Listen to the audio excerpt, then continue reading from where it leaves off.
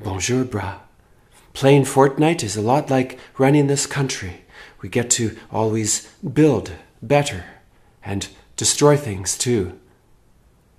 Even though I'm a bit of a noob, I pwned Maxime Bernier last week, and serves him right, the little Nerf bot, for um, preferring the FPS format, which inspires me to take away even more of your guns and give them to foreign countries so that they can kill one another.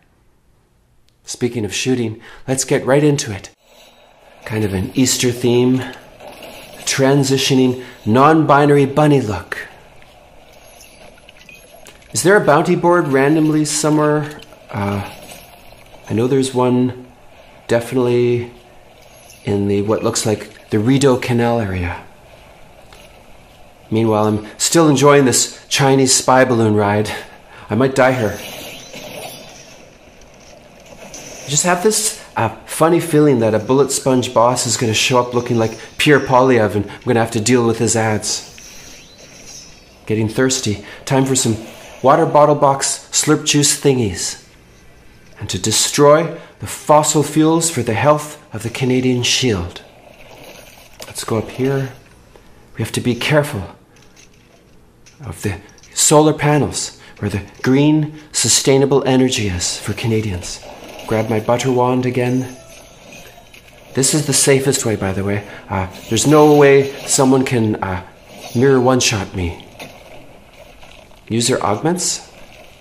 I really don't need augments, to be honest with you. And neither do you guys.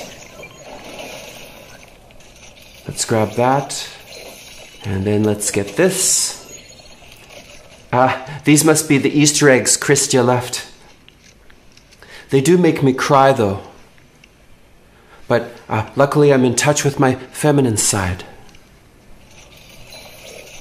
I love breaking into these uh, white, privileged male neighborhoods. And this reminds me of how I steal other things in life. I am having some white guilt about the excessive carbon emissions. Perhaps Canadians would appreciate if I switched to something more energy efficient, like a motorcycle. this is me, uh, like when I'm all alone on Highway 1.